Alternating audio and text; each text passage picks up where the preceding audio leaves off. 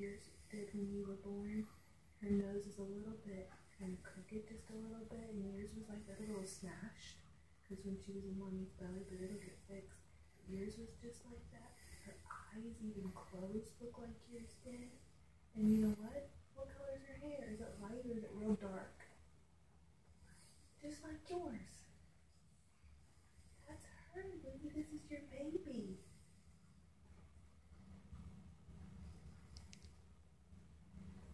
do you think, buddy? your life, Lucas. She's going to be your little best friend for the rest of your life. She is? Yes.